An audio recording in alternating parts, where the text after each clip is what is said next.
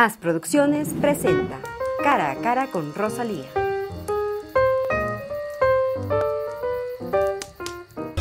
Buenos días, queridos amigos televidentes, y bienvenidos a este programa que lo estamos realizando en la ciudad de Machala, en una ciudad progresista, em, hospitalaria, y estamos en el Hotel Oro Verde de esta ciudad que nos ha acogido con mucho cariño. Eh, por supuesto, para iniciar este programa queremos hacerlo con la presencia del alcalde de la ciudad. Se trata de Carlos Falqués Aguilar, quien tiene una hoja de vida importante, su juventud por supuesto lo avala para hacer cambios, para eh, demostrar que esa energía, esa savia nueva pueden hacer mucho por una ciudad. Así es que gracias Carlos por recibirnos el día de hoy. Gracias Rosalía por estar aquí en nuestra ciudad. Eh, Bienvenida una vez más. Muchas gracias Carlos. Eh, me gustaría que usted nos diga quién es Carlos Falqués Aguilar. Bueno, nació de cepa deportista. Me encanta el deporte, ¿Qué deportes? el basquetbol. Tuve la oportunidad de ser eh, parte de la selección de mi provincia y en su momento de la selección del Ecuador también. Y lo sigo practicando, aunque ya no de Claro, como co- deportista como antes. profesional, como lo hacía en su momento, lo hice en Guayaquil, eh, lo hice en Machala, sino que ahora más bien lo hago para desestresarme un poco de las Actividades, actividades, a las que estamos ahora dedicados.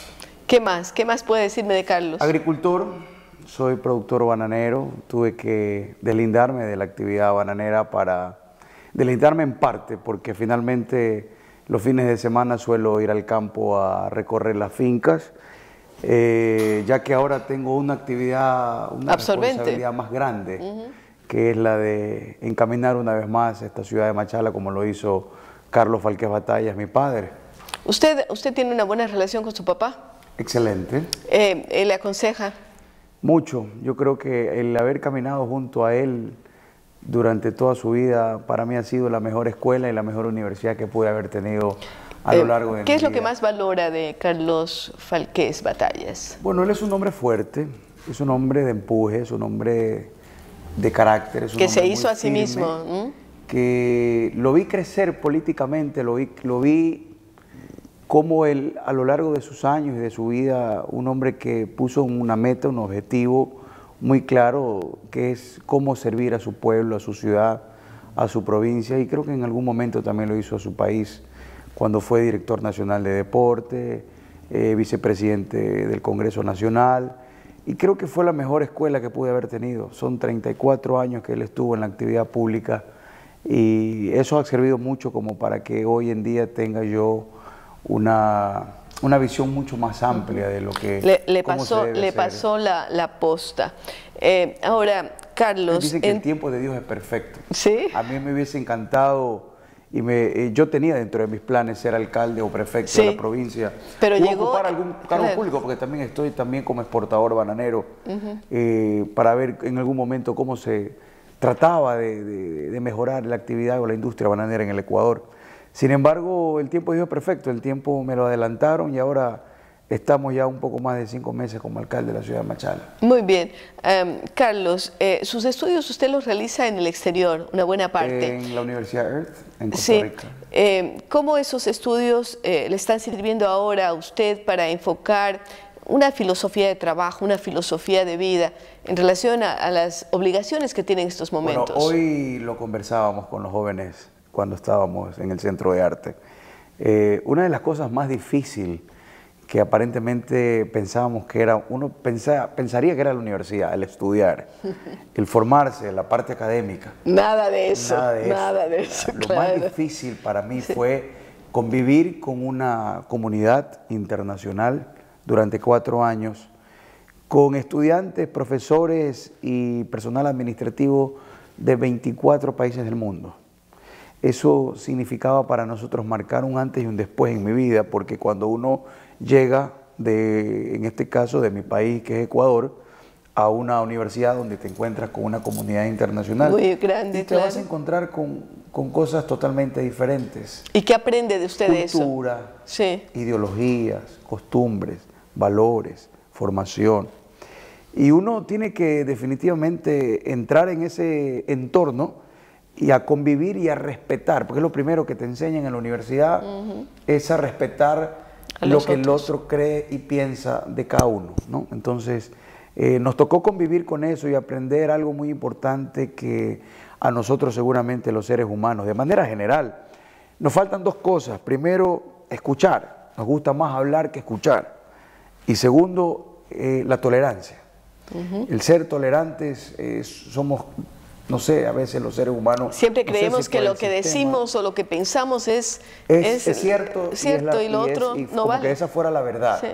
Pero la verdad es que todos tienen la, verdad en las manos, en, su cabeza. Es decir, el criterio que tiene cada persona es un mundo, y cada, cada cabeza es un mundo, y cada persona tiene derecho a opinar. Y entonces ahí viene el problema cuando nos ponemos de acuerdo. ¿En qué momento tenemos que ponernos de acuerdo? Así que esa fue quizá la, vivencia, la experiencia más importante.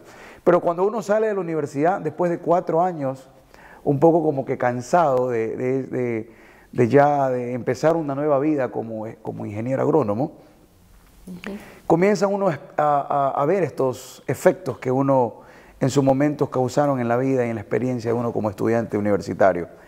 Y hoy en día, mira, lo estamos viviendo, Rosalía, la diversidad de criterios, cómo uno le enseña que la prensa, que las personas que no están con uno, que las personas que no comparten el trabajo que uno hace o la metodología o el, o el modelo de gestión que uno emprende no están con uno, no necesariamente son gente como algunos nos llaman opositores, ¿no?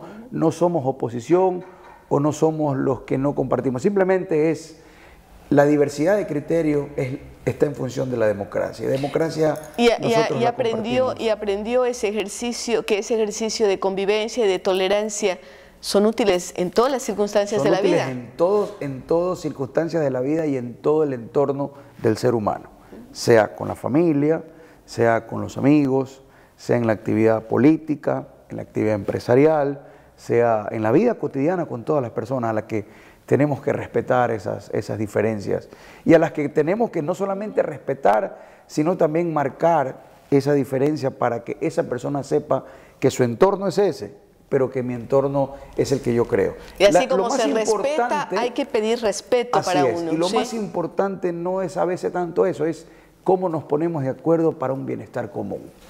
Definitivamente. Eso significa que hay que ceder a veces.